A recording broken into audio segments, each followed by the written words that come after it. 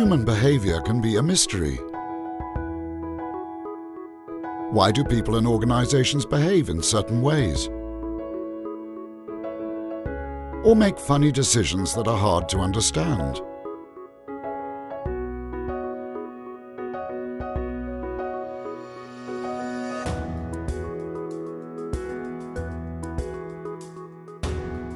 Behavioral economics or insights are helping public bodies across the world to answer these questions and deliver better policies for better lives. Behavioral insights is not a trend. It's being rooted in public bodies all around the world.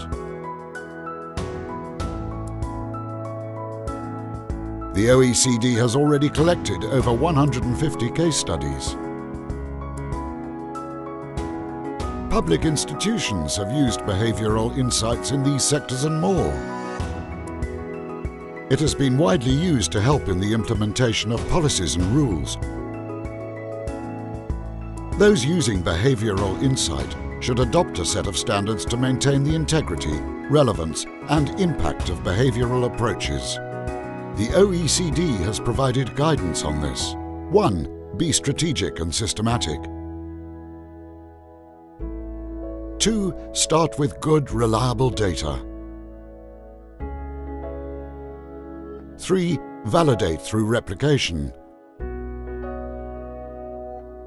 4. Apply to segments of society for special or targeted interventions. 5. Evaluate. 6. Publish results, good and bad.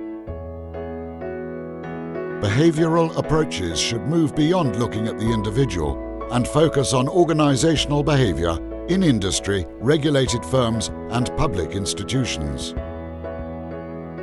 To find out more about the behavioral work at the OECD, go to our webpage and learn how behavioral insights are giving a nudge to better policies and better lives.